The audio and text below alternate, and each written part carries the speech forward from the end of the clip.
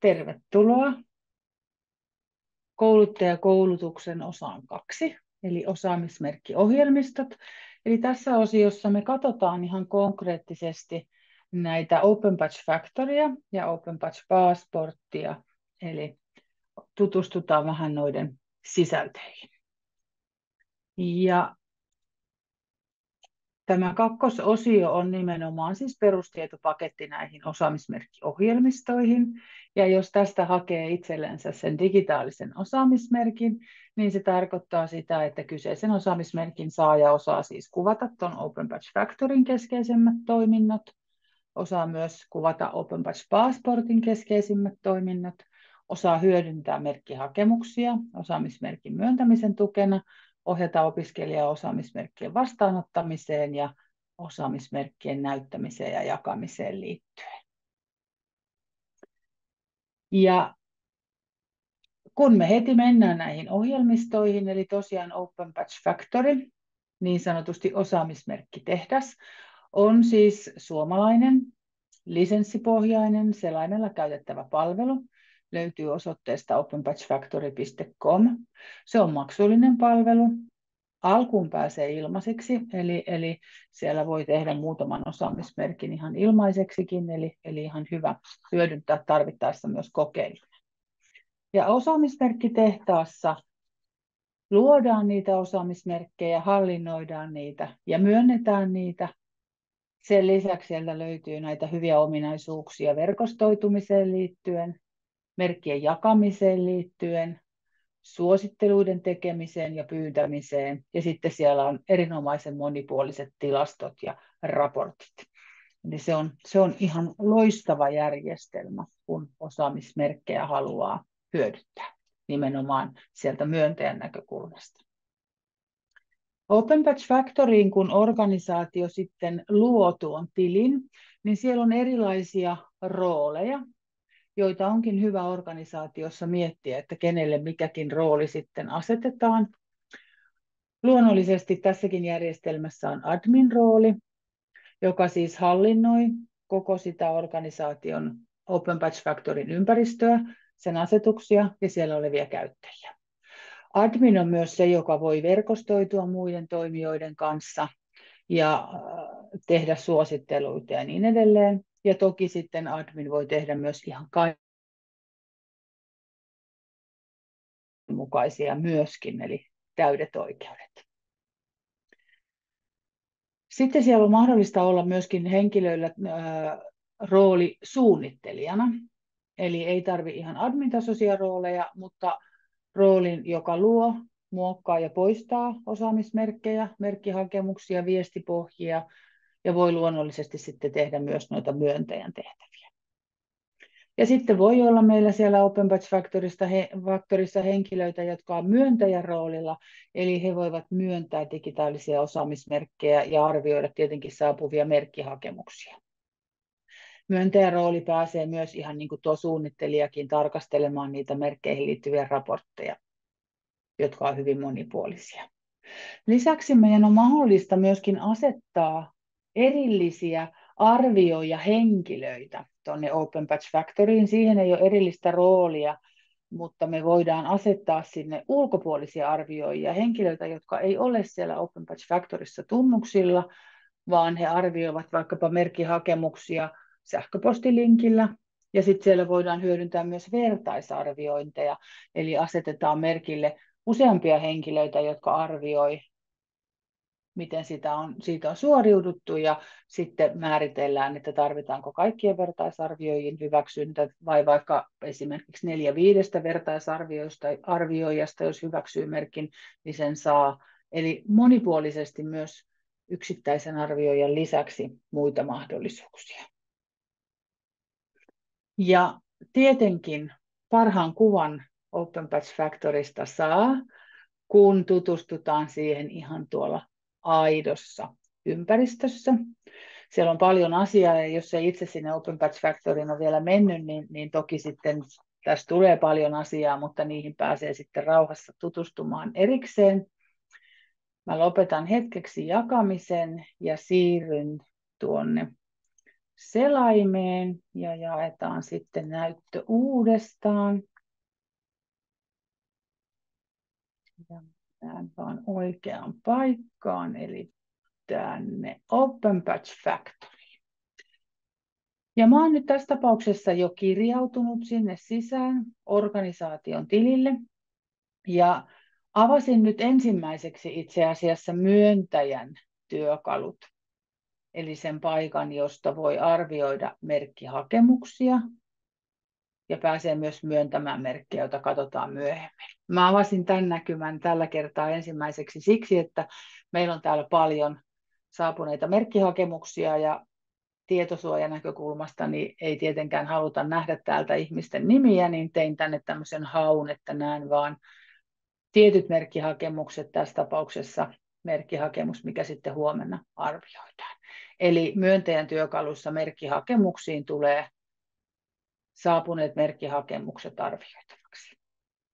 Mutta muuten kun me lähdetään katsomaan, mitä täältä löytyy, niin silloin kun tänne kirjautuu tänne Open Patch Factoryin, eli tänne tehtaan puolelle sisään, niin oletuksena aukeaa niin sanotusti työpöytä. Ja työpöydällä näkyy sitten tällaisia ajankohtaisia tietoja, tietoja oman ö, lisenssin palvelutasosta, koska se pitää uusia, paljonko merkkejä on luotu, myönnetty, niin edelleen. Mutta sitten keskeisiä on tietenkin nämä muut työkalut täältä. Ylhäältä myöntäjän työkalut, suunnittelijan työkalut, verkosto, admin työkalut, raportit ja tietenkin ohje. Open Patch Factorissa on aivan loistavat ohjeet. Jos niitä tarvii, niin kannattaa hyödyntää. Ja se, että mitä täällä ylhäällä näkyy, niin riippuu tietysti siitä, millä roolilla ollaan kirjauduttu sisään. Ja nyt kun olen admin roolilla, niin näen nämä kaikki. Ja luonnollisesti, jos olen suunnittelija, niin en näe verkostoa enkä admin-työkaluja. Ja jos olen myöntäjä, en näe suunnittelija, työkaluja, verkostoja enkä admin-työkaluja. Mutta nyt nähdään kaikki. Ja mä aloitan itse asiassa täältä admin-työkaluista. Admin on se henkilö, joka hallinnoi täältä vasemmalta löytyviä tietoja, käyttäjätunnuksia, organisaatioiden perustietoja ja sitten siellä on paljon muitakin tehtäviä, joita voi tehdä, joihin ei tässä kauhean syvällisesti vielä mennä. Meillä voidaan, admin-tunnuksilla siis luodaan niitä käyttäjätunnuksia sinne Open Patch Factoryin ja niitä tunnuksia voidaan luoda sitten eri rooleilla, admin-roolilla, suunnittelijana, myöntäjänä ja niitä tarpeen mukaan tuolta plussapainikkeella pääsee lisäämään. Toinen, mikä on adminille hyvin tärkeä, niin on tämä organisaation tiedot. Eli organisaation tiedot näyttää sitten myöhemmin niille merkin saajille ja myöskin niille loppukäyttäjille, eli jotka lukee vaikkapa minun saamani merkin tietoja, niin, niin nä, nä, näkyy nämä organisaation perustiedot. Eli tietenkin organisaation nimi, mm, verkkosivun linkki, siellä voi määritellä organisaation tyyppiä ja voi kirjoittaa kuvauksen. Ja jos kirjoittaa kuvauksen, niin se näkyy sitten siellä vastaanotetuissa merkeissä. Organisaation e-mail. Ja tämä on semmoinen ensimmäinen, mihin mä kiinnittäisin huomiota. Eli mäkin olen nyt kirjautunut tänne tällä hetkellä Merja Schöplumin nimellä, eli omalla, omilla tunnuksillani. Mutta jos mä näillä tunnuksilla luon täällä osaamismerkkejä, niin siellä osaamismerkissä näkyisi mun sähköpostiosoite, ja kun me sitä ei haluta, vaan me halutaan mieluummin joku yleisosoite, niin kun sen lisää tänne organisaation e-mailiin, niin se tulee sitten jatkossa kaikkiin teidän osaamismerkkeihin kontakti sähköpostiosoitteena, jota käytetään. Ja sen lisäksi kaksi asiaa. Haku sallittu kannattaa aina pitää päällä tarkoittaa sitä, että kun me katsotaan kohta tätä merkin saajan puolta, niin, niin siellä sitten löytyy teidän tiedot ja teidän merkit. Ja myöskin verkostoituminen onnistuu vain silloin, kun haku on sallittu. Ja näytä kuvamerkeissä, niin se on tuo logo, joka näkyy sitten osaamismerkeissä. Eli logo on myös sellainen, jonka ehdottomasti haluatte ladata tänne organisaation tietoihin, koska silloin se todella näkyy siellä merkeissä, ja jos sitä ei ole, niin sitä ei tietenkään näykään. Se on kumminkin organisaation tavallaan käyntikortti se logo. Näihin muihin osioihin en tässä yhteydessä mene, mutta sieltä löytyy siis tietoja erilaisten rajapintojen hyödyntämiseen ja sieltä voisi tehdä PDF-pohjaisia malleja osaamismerkeille. Sieltä voi tietenkin näitä omia tilaustietojaan käydä läpi, mutta tosiaan ei katsota niitä tässä sen kummemmin. Verkosto olisi täällä seuraavana. Eli täältä verkostosta me voidaan siis verkostoitua eri toimijoiden kanssa. Tässä näkyy vähän, että kenen kanssa Tieke on verkostoitunut, lista jatkuu toki tuolla niin, ettei se näy tässä kaikki. Täältä pääsee lisäämään verkostonsa organisaatioita. Ja sitten täältä pääsee suosittelemaan kumppania tai voi hyväksyä, kun kumppani on suositellut meitä. Ja sitten tässä näkyy myöskin, miten suosittelua on tehty. Eli me olemme suositelleet esimerkiksi Ahjolan kansalaisopistoa ja ammattiopisto Sami Edun kanssa olemme molemmat suositelleet toisiaan. Sen verran mä totean, että näin kaikki on ihan ajan tasalla tässä, mutta pääsääntöisesti näyttää juuri sen, mitä pitää. Tässä näette myöskin sen, että jos sitä logoa ei ole sinne organisaation tietoihin lisätty, niin sitä logoa ei sitten täällä myöskään näy. Eikä sitä näy siellä merkin saajien puolella passportissa. Täällä on mahdollista pyytää sitten suositteluita myös sellaisilta organisaatioilta, jotka eivät käytä Open Batch Factorya, että jos teillä on verkostossa toimijoita, joilta olisi hyvä saada suositus, niin myös ulkoisia suosituksia voi pyytää. Silloin te kirjoitatte tähän henkilön sähköpostiosoitteen, jolle te laitatte suosittelupyynnön, kirjoitatte viestin ja lähetätte sen pyynnön. Sitten täällä on merkkien suosittelua mahdollista tehdä. Eli niin kuin näette, niin tässä näkyy muutamia merkkejä, joihin suosittelupyyntöjä on tehty. Ja nähdään, että kuinka moni on jo suositellut merkkejä ja kuinka monella pyyntö vielä odottaa, eli eivät ole vielä suosittelua tehneet. Sitten näkyy myös merkit, joita me ollaan suositeltu, eli on tullut Tiekelle suosittelupyyntöjä, ja jos me ollaan siihen vastattu, niin sitten täältä pääsee näkemään, että mitä me ollaan suositeltu. Eli jos mä otan tuosta vaikka yhden merkin ja näytän, niin olemme sitten suositelleet tätä merkkiä. Eli kerromme, että olemme itse olleet mukana kehittämässä sitä. Olemme olleet myös kouluttamassa mukana, tunnustamme merkin saajien taidot ja osaamisen. Tämä merkki on todiste taidosta tai valmiudesta ja vahvistetaan, että merkki vastaa meidän standardeja. Eli tällaisia suositteluita voi tehdä. tosiaan niiltä muilta toimijoilta. Täältä verkostopuolelta löytyy myöskin sitten tällaisia ominaisuuksia kuin jaetut merkit, niin kuin esimerkiksi valtakunnallinen digitaitomerkistö on sellainen, että me hallinnoimme sitä ja me jaetaan sitä merkistöä muiden organisaatioiden käyttöön, ja täältä löytyy sitten tiedot kaikista organisaatioista, joille me ollaan merkistöä jaettu. Ja jos meille joku jakaa merkkejä, niin ne näkyy meille jaetuissa merkeissä. Ja esimerkiksi nämä kouluttajakoulutusten merkit on toteutettu niin, että opintokeskus Sivis hallinnoi niitä ja molemmat Sivis ja Tieke myönnämme niitä. Lisäksi voisi rakentaa erilaisia suosittelupohjia.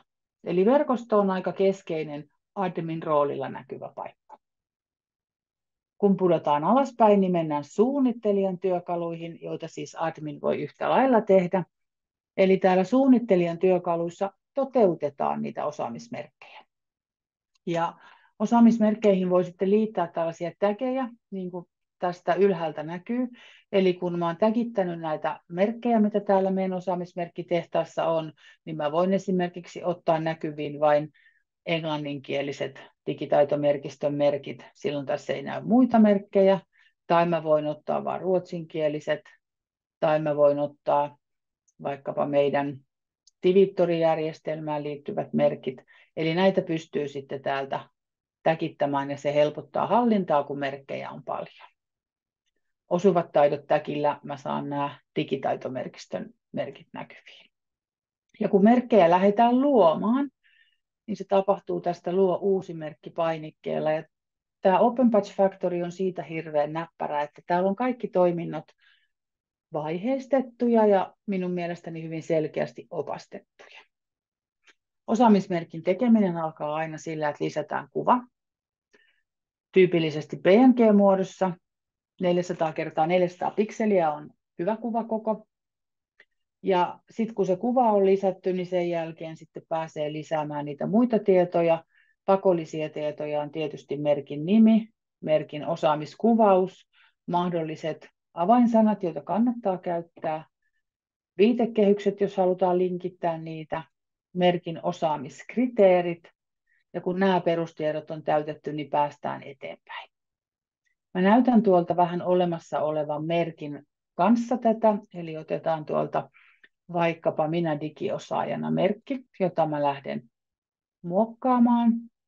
Eli täältä nähdään merkin kuva, merkin nimi, merkin lyhyt osaamiskuvaus, avainsanat. Jos se merkki haluttaisiin määräaikaiseksi, niin sen voimassaoloaika, merkin osaamiskriteerit ja muu teksti, mitä sinne halutaan. Ja sitten sen jälkeen tosiaan pääsee aina etenemään. Tänne voi rakentaa viestipohjan. Tämä liittyy hyväksymis- osaamismerkin hyväksymiseen. Eli tämä on se teksti, mikä sitten menee sähköpostina sille merkin saajalle. Täältä voi rajata merkkiin liittyviä oikeuksia. Ja sen lisäksi voidaan määritellä ylimääräisiä arviointioikeuksia. Sitten voidaan tehdä arvioijan ohjeet. Niin kuin meillä digitaitomerkistössä jokaisella merkillä on omat arvioijan ohjeet kirjoitettu. Jos on niitä suositteluita tehty, niin niitä, tai siis suosittelut tehty niin näkyy täällä ja täältä pääsee tekemään uusia suosittelupyyntöjä. Eli selkeästi vaiheistettu toiminta. Ja merkkikirjastosta löytyy. Ja sitten jos me hyödynnetään niitä osaamismerkistöjä, eli niin, että meillä on tietyt osaamismerkit, mitkä pitää suorittaa, että saa koontimerkin, niin täällä osaamismerkkitehtaassa me puhutaan metamerkeistä, ja tässä näkyy erilaisia koontimerkkejä, joita meilläkin on käytössä. Ja esimerkiksi vaikkapa otetaan tuolta tuo suomenkielinen osuvat taidot. Siinä on, meillä on viisi tasoa merkistössä.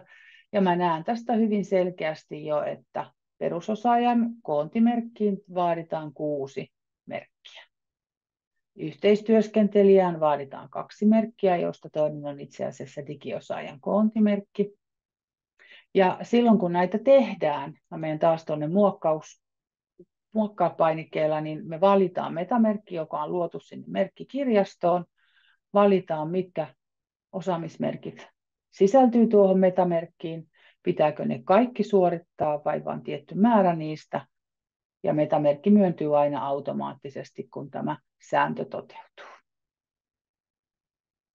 Sen lisäksi täällä suunnittelijan työkaluissa on sitten merkkihakemukset, eli täällä rakennetaan ne osaamismerkkihakemukset, joita, jos niitä halutaan hyödyntää. Ja otanpa tuosta esimerkkinä vaikka tuon turvallisen toiminnan merkin, ja meillä taas tuolla muokkaa painikkeella ihan sama ohjattu toiminto tulee, jos lähden luomaan uutta.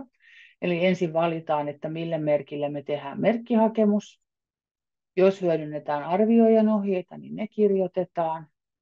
Ja sen jälkeen tehdään se varsinainen merkkihakemus.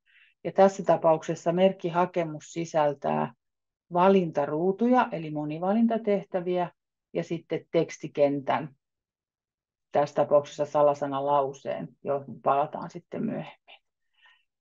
Täälläkin voidaan sitten hyödyntää niitä viestipohjia, eli minkälainen viesti lähtee henkilölle, joka tämän merkin saa jos me hyödynnettäisiin ulkoisia arvioijia, eli henkilöitä, jotka ei täällä meidän Open Batch Factorissa ole, niin se tapahtuisi täältä. Muuten voitaisiin tarvittaessa rajata oikeuksia ja sitten asetuksista merkkihakemukset asetetaan aktiiviseksi, jolloin me saadaan merkkihakemukselle linkki, jolla ne merkin suorittajat pääsee sitä tekemään. Ja sitten voi vielä valita, saako kun tämä oli hakemus, niin sitä hakemuslomaketta käyttää osaamisen todisteena. Nämä on ne keskeisimmät työkalut osaamismerkkejä rakentavalle ja toteuttavalle taholle merkkikirjasto, metamerkit ja merkkihakemukset. Sitten tänne voi toki lisätä kuvakirjastoa, pohjia, lomakepohjia ja niitä viitekehyksiä, jos niitä haluaa suoraan liittää merkkeihin, niin niitä pystyy tuonne lisäämään. Sitten meillä on ne tärkeät, eli myöntäjän työkalut. Merkkihakemuksissa me jo äsken käytiin, eli sinne saapuu ne merkkihakemukset, jotka arvioidaan. Mä en nyt sinne toista kertaa mene, koska sieltä on unohtunut ne minun kriteerini, niin pidetään tietosuojasta huoli. Jos on merkkihakemus, niin se arvioidaan siellä merkkihakemukset kohdassa. Jos on merkki, joka halutaan myöntää ilman merkkihakemusta, niin se tapahtuu tästä myönnän merkkikomennolla. Ja silloin mä valitsisin merkin, jota mä haluan myöntää. Lähtisin sitten sinne tarv- etenemään taas vaiheittain, asetan merkin tiedot, jos mä haluan kirjoittaa sinne jotain sellaista tietoa, jota siellä merkin tiedoissa ei vielä ole, tai haluan asettaa sille vanhenemispäivän. Kirjoitan sähköpostiosoitteet, kenelle merkki myönnetään. Tarvittaessa muokkaan tuota viestiä, mikä sille merkin saajalle lähtee. Ja sen jälkeen voisin sen lähettää, mutta kun minulla ei ole siellä yhtään sähköpostiosoitetta, niin en tietenkään voi merkkiä myöntää. Äärimmäisen taas selkeä, vaiheistettu toiminta. Mutta siis riippuu siitä, että ovatko merkit merkkihakemuksilla todennettavia. Jos ovat, niin ne arvioidaan tuolla merkkihakemuksissa. Jos myönnetään ne vaikka siellä koulutuksen aikaisten tehtävien tekemisen perusteella, niin silloin myönnän merkki on oikea paikka.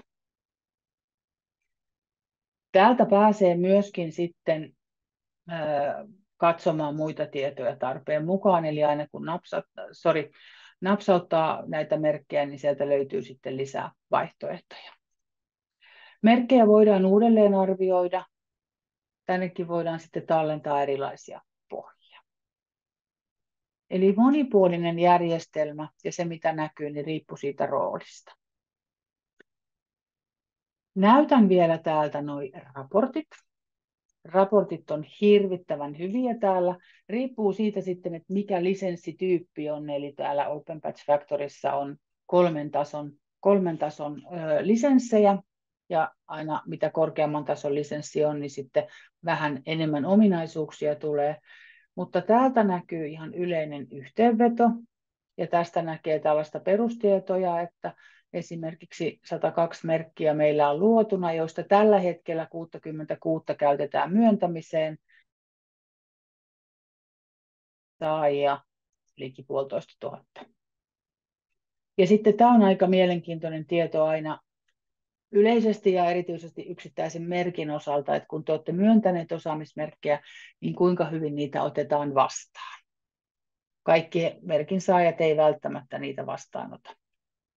Ja sitten tässä näkyy vielä ihan yleistä tietoa siitä, että miten hyvin merkkejä on jaettu eteenpäin tai arvosteltu, ja jos niitä on jaettu sosiaalisen median kanaviin, niin mihin kanaviin ja kuinka paljon.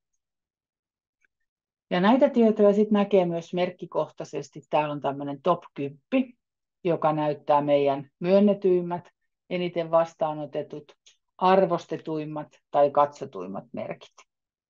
Eli tämmöistä perustietoa ja esimerkiksi tämä, että kuinka monelle merkille meidän merkkien saajat on noita tähtiluokituksia antanut, niin sehän on toki hyvää tietoa.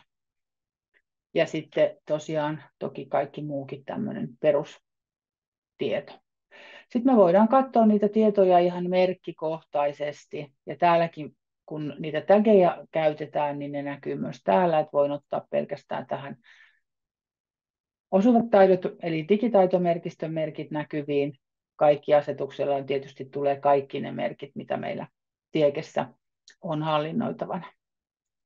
Ja täältä, jos mä valitsen jonkun merkin, otetaanpa tuolta vaikka laitteiden valinta ja käyttö, niin sitten mä näen vähän tarkemmin tilastotietoa siitä, kuinka paljon merkkejä on myönnetty, kuinka moni sen on vastaanottanut, onko sitä jo arvioitu ja niin edelleen. Tässä tapauksessa, kun me puhutaan digitaitomerkistön merkeistä, niin tiekehän itse ei niitä oleellisesti myönnä, vaan me jaetaan se merkkien myöntöoikeus meidän lisenssiasiakkaille, ja ne merkit on tuolla jaetuissa merkeissä, mennään siihen kohta. Täältä pystyisi myös etsimään sitten yksittäisen vastaanottajan merkkejä, joko aikavälillä tai vaikkapa sähköpostiosoitteen mukaan. Ja jos mä laitan tänne vaikkapa, no itse asiassa mä voin laittaa, no joo, laitetaan toi sähköpostiosoite ja etsin, niin mä löydän, että kuinka paljon ja mitä merkkejä tällä sähköpostiosoitteella on myönnetty. Eli jos joku teiltä kysyy, että miksi en ole saanut osaamismerkkiä tällä sähköpostiosoitteella, niin se on helppo siellä käydä tarkistamassa. Sitten jos on niitä merkkejä, jotka myönnetään merkkihakemuksella, niin niistä on sitten vielä ihan omat raportit täällä. Eli täältäkin voin sitten milloin tahansa ottaa vaikkapa tuolta laitteiden valinta- ja käyttömerkin ja katsoa sen tilastoja. En mene tänne merkki vastaanotettu, mistä sitten aukeaa tieto, että kenelle merkkiä on myönnetty. Pysytään taas siellä tietosuojan näkökulmasta huolta pitäen. Ja jos niitä on niitä jaettuja merkkejä, niin sitten täältä jaetut merkit työkalulla, eli merkkejä, jotka me ollaan itse jaettu muille organisaatioille, niin täältä sitten näkee, että miten niitä on myönnetty. Me emme näe tokikaan, kenelle näitä merkkejä on myönnetty, mutta näemme määriä ja nähdään, että mikä organisaatio merkkejä on myöntänyt. Täältä nyt esimerkiksi näkee, että laitteiden ja valinta- ja käyttöosaamismerkkiä on myönnetty yhteensä 4667 henkilölle tällä hetkellä, kun me tätä katsotaan. Se on saanut hyviä arviointeja. 22 prosenttia, mikä on aika iso luku, niistä, joille merkki on myönnetty, ei ole ottanut sitä vastaan, mikä on harmi tokikin. Ja sitten täällä tosiaan näkyy niitä organisaatioita, jotka merkkiä on myöntänyt, mutta me emme näe henkilöitä, ne henkilöt näkyy niiden myöntävien organisaatioiden tiedoissa. Sitten täällä on myöskin tällainen raporttityökalu, jonka sisältö riippuu vähän siitä, että minkä tasoinen Open Batch Factory lisenssi organisaatiolla on, mutta täältä saa vietyä vaikkapa CSV-tiedostona merkkeihin tai merkkihakemuksiin liittyviä tietoja, aivan loistavia raportteja. Eli monipuoliset raportit, joita voi ja tietysti kannattaa hyödyntää sen lisäksi, että täällä sitten suunnitellaan niitä osaamismerkkejä, arvioidaan niitä merkkejä, verkostoidutaan ja, ja tota, niin, suositellaan. Eli kannattaa hyödyntää. Siellä myöntäjän työkaluissa, mä en nyt mene sinne merkkihakemuksiin, mutta siellä voi sitten myöskin omilla tunnuksillaan tilata sähköposti-ilmoituksia saapuneista merkkihakemuksista. Eli jos te hyödynnätte merkkihakemuksia, niin laittakaa ihmeessä sähköpostiosoite, johon tulee ilmoitus siitä, kun uusia merkkihakemuksia on tullut, niin ei tarvitse käydä sitten erikseen täällä Open Batch Factorissa katsomassa, että onko joku merkkihakemuksia laittanut tulemaan. Siitä tulee sähköposti-ilmoitus.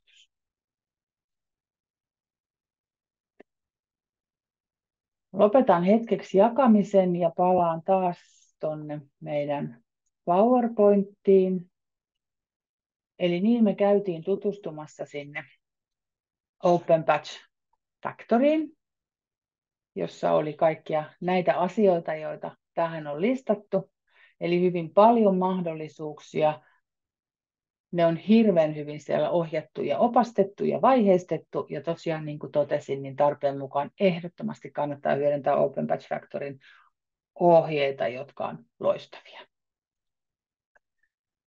Ja olen tähän vielä sitten kerännyt niin, niin listan siitä, että kun te lähdette toteuttamaan osaamismerkkejä, niin, niin se toteutusvaihe on tietysti aika suuri työ, kun pitää miettiä kaikki ne merkkiin liittyvät sisällöt. Ja yksittäinen osaamismerkki sisältää siis hirvittävän paljon tietoa sen itse osaamismerkkikuvan lisäksi. Eli se merkin kuva, kuvaus, avainsanat, mahdollinen voimassaolo, osaamisen kriteerit, arviointitavat, merkin myöntävistapa, mahdolliset todisteet, mahdolliset viitekehykset ja viestipohjat. Ja niin kuin äsken tuolla Factorin puolella katsottiin, niin ohjeistettu toiminta, kun merkkiä rakennetaan. Tietenkin ennen kuin pääsee tänne asti, niin se kaikki sisältö on pitänyt ensin suunnitella valmiiksi. mutta täällä se toteutus on helppoa. No sitten meillä on se osaamismerkki passi, eli Open Patch Passport. Ja se on se paikka, johon me itse kukin kerätään niitä omia osaamisen tunnisteita, eli digitaalisia osaamismerkkejä. Jos ei sinne vielä ole tunnusta, niin se kannattaa käydä tekemässä. Eli OpenPatch Passport on maksuton pilvipalvelu, jota voi käyttää selaimella tai mobiilisovelluksena omassa matkapuhelimessaan. Selainversiossa on pikkusen enemmän ominaisuuksia, mutta kaikki perustoiminnot toimii myös tuolla mobiilisovelluksessa. Eli OpenPatch Passporttiin me kerätään niitä omia osaamismerkkejä, määritellään, miten me jaetaan niitä eteenpäin, voidaan pyytää ja tehdä suositteluita ja niin edelleen. Ja OpenPatch Passportissa on sellainen tosi hieno paikka kuin galleria, josta on kiva käydä myös katsomassa, mitä kaikkea merkkejä Suomesta ja maailmalta löytyy. Ja me käydään tietysti kurkkaamassa tuota Open Patch Passporttia, katsotaan vähän tuota rekisteröitymistä ja kirjautumista ja sitten tarkemmin, että mitä kaikkea sieltä löytyy. Ja nämä on kaikki tärkeitä tietoja myös jokaiselle jo, taholle, joka myöntää osaamismerkkejä, koska silloin kun te ryhdytte myöntämään osaamismerkkejä, niin teidän pitää osata motivoida ne teidän merkkien suorittajat luomaan itsellensä Open Patch Passportin tili ja hyödyntämään sitä sen jälkeen, kun sinne niitä merkkejä alkaa kertymään. Ja hetkeksi taas lopetan jakamisen ja vaihdetaan toiseen ikkunaan. Eli mennään takaisin selaimeen ja sieltä siirrytään OpenPatch Passportin etusivulle. Eli openpatchpassport.com. Ja täältä pääsee sitten ää, rekisteröitymään tai kirjautumaan, jos on tunnukset. OpenPath Passporttia voi käyttää muutamalla eri kielellä. Me vaihdetaan tuosta nyt suomen kieli käyttöön. Jos ei ole vielä rekisteröitynyt, niin aloita tästä, luo ilmainen tili. Ja sieltä näkee, että tietenkin käyttöehdot pitää hyväksyä. Itse olen nämä lukenut, niin on hyvä hyväksyä. Ikäraja on 13-vuotias ja siellä on huoma- huomautettu silti se, että vanhempien lupa alle täysikäisiltä. Sähköpostiosoite toimii identifiointitietona OpenPatch Passportissa. Tiliin voi liittää myös useampia sähköpostiosoitteita, mikä on tosi näppärää. Totta kai me tarvitaan siellä salasana, omat nimitiedot, kieli, maa. Halutessaan voi käyttää myös muita rekisteröitymisvaihtoehtoja, esimerkiksi Google ja Facebook asioita, miten haluaa tämän tehdä. Jos tunnus jo on, niin sitten tietysti lähdetään tuolla kirjaudu-painikkeella ja annetaan sitten ne omat identifiointitiedot. Ja tässä otetaan nyt meidän digiosaaminen, joka on sähköpostiosoite henkilölle nimeltä merkkihenkilö. Eli kun meillä on passportissa tili, niin, niin ää, Tämä on etusivu, johon päksähdetään, kun sisään kirjaudutaan. Tässä on tällaista yleistä infoa vasemmalla puolella ja henkilökohtaista infoa tässä oikealla puolella. Näyttää esimerkiksi, että merkkihenkilö on saanut, ottanut vastaan 13 osaamismerkkiä, hänellä on erilaisia tavoitteita, hän on tehnyt itsellensä oman sivun osaamismerkeistään ja hänellä on myöskin yksi osaamismerkki, jota hän ei ole vielä vastaan. Ja ensimmäisenä mä menisin, kun osaamismerkkiä lähden keräämään, niin tänne ylös oikealle, josta löytyy profiilikuva, ja sieltä pääsee asetuksiin. Ja ensimmäinen, mikä täältä voi ja kannattaa tehdä, niin on vaihtaa sitä kieltä ja tallentaa, niin sen jälkeen täältä sitten järjestelmä vaihtaa kaiken halutulle kielelle ja muistaa sitten sen kielivaivan tietysti jatkossa. Täällä oman tilin asetuksissa on toki kielen lisäksi sitten nämä perustiedot, se, että minkälaisia sähköposti-ilmoituksia haluaa ottaa käyttöön, haluaako hyödyntää paikkatietoa ja se tarkoittaa sitä, että sen merkin vastaanottajan sijainti näkyy tuommoisessa yleisessä kartassa, kun osaamismerkkejä katsotaan. Ja jos se paikkatieto on käytössä, niin onko se julkinen. Sen lisäksi tietenkin voi salasanaa vaihtaa. Ja täältä sähköpostiosoitteet kohdasta voi lisätä itsellensä useampia sähköpostiosoitteita, niin kuin meillä monella on monia sähköpostiosoitteita. Ja voi myös sitten valita, että mikä on se ensisijainen osoite, eli se sisäänkirjautumisen sähköpostiosoite. Jos käyttää Facebookia, Linkkaria, Googlea, niin niiden asetuksiin pääsee. Ja jos on epähuomiossa luonut eri sähköpostiosoitteilla useamman tilin, niin täältä yhdistä tunnuksia kautta pääsee sitten yhdistämään ne kaksi tiliä, kaikki osaamismerkit yhteen paikkaan ja taas toimii hyvin. Ja minun tietoni, niin siellä näkee sitten niitä henkilökohtaisia tietoja, mitä on sitten itsestään, tai mitä itsestään löytyy sitten täällä osaamismerkkipassissa. Näiden asetusten lisäksi meillä löytyy sitten täältä ylhäältä etusivu, merkit, profiili, galleria ja seurannassa. No etusivu oli tietenkin se, mistä lähdettiin liikenteeseen. Merkit kohdasta näkyy ne merkit, mitä meillä itsellämme on. Ja sitten jos on tullut merkkejä, mitkä voisi ottaa vastaan, niin ne näkyy myös täällä, eli voisi hyväksyä merkin, jonka, joka on myönnetty. Ja sitten pääsee tosiaan katsomaan noita aikaisempia merkkejä. Ja tämä on aika tärkeä paikka. Eli jos me avataan täältä vaikkapa tämä yhteistyöskentelijän merkki, jonka meidän merkkihenkilö on saanut, niin täällä on se paikka, josta näkyy tarvittaessa totta kai nämä merkin normaalit osaamiskuvaukset ja muut, mutta nämä tärkeät välilehdet ja todisteet, suosittelut ja muut tämän merkin saaneet henkilöt.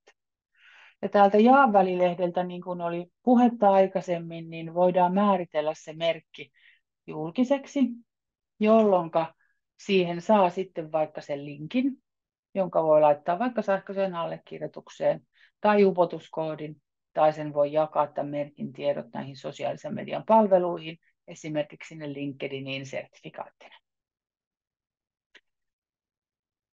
Tänne voi lisätä niitä omia todisteita, lisää todistepainikkeella, verkko, verkkosivulinkkiä, sivuja, tiedostoja tilanteen mukaan. Voisi pyytää suosittelua omalta esimieheltä, omalta opettajalta, joltain muuta.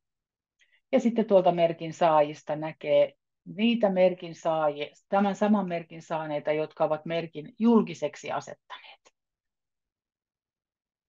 Eli täällä on aika paljon tietoa ja jokaisen merkin osalta kannattaa käydä näitä asetuksia läpi. Jos olisi kerännyt aikaisemmin merkkejä johonkin muuhun osaamismerkkijärjestelmään, joka noudattaa Open Patches rajapintaa, niin täällä tuo merkkejä komennolla niitä voi tuoda tänne, tai toki täällä olevia merkkejä voi viedä muihin järjestelmiin. Toimii erittäin hyvin.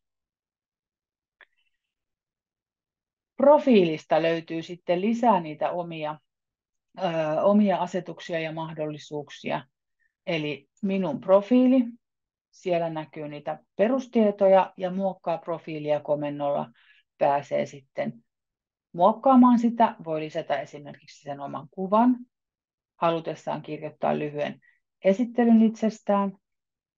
Ja sitten sieltä näkee noita omia merkkejä, joita voi myös toki laittaa piiloon ja sen paikkatiedon, jos sen on julkiseksi avannut. Sen lisäksi täällä voi sitten vähän määritellä ulkoasua, koko profiilin näke, näke, näkemistä muille ja sitten voi esikatsella sitä omaa profiilia. Voi luoda sivuja, niin kuin meidän merkkihenkilö on luonut tällaisen verkkosivupohjan, johon hän on tuonut tässä tapauksessa näitä koontimerkkejä digitaitomerkistön merkeistä. Ja tämänhän voisi sitten joko pdf liittää vaikkapa johonkin työpaikkahakemukseen, tai tuolta julkaise ja jaa komennolla ottaa linkin tähän sivuun. Eli näitä sivuja voi myös rakentaa useampia sen mukaan, miten haluaa sitten niitä merkkejä hyödyntää. Täällä on myös tiedostoja ja tavoitteita. Niihin mä en mene nyt, mutta ne on sellaisia ominaisuuksia, mihin kannattaa myös tutustua. Tavoitteet osio kehittyy täällä OpenPath Passportin puolella koko ajan, eli sieltä pääsee rakentamaan niitä omia oppimispolkujaan. Ja sitten se tosi mielenkiintoinen paikka tämä galleria.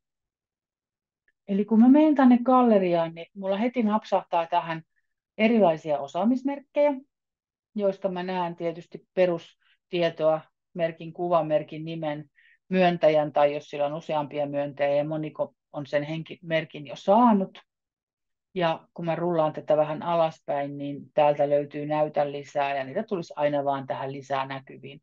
Täällä galleriassa on kaikki ne merkit, jotka on julkisiksi organisaatioissa avattu, eli jotka ei ole kenenkään organisaation omassa suljetussa ympäristössä. Niitä suljetussa ympäristössä oleviakin näkyy. Ja sen lisäksi, että me nähdään näitä perustietoja, niin jos siellä on tuo kahden käden kuva, niin silloin sitä merkki, siellä merkissä on myös niitä suosittelijoita, eli sekin näkyy heti tässä.